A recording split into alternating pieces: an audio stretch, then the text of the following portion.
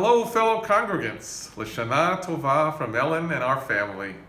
And welcome to Elul. First, an ancient midrash. The angels in heaven looked out their window, saw the new moon and three stars, and realized Rosh Hashanah was starting. So they set up the heavenly court as they do every year.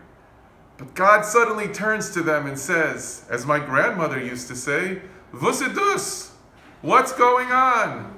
Take down the court. It's not Rosh Hashanah until the humans say it's Rosh Hashanah. They have been commanded and blessed with the job of sanctifying Rosh Hashanah, not us. The sages in this midrash were reminding us that the date of a holiday on a calendar is not the focus of where the true meaning is found. We must, as a community, make the day special by sanctifying and celebrating the day as community, even more so this year as we deal with our social isolation.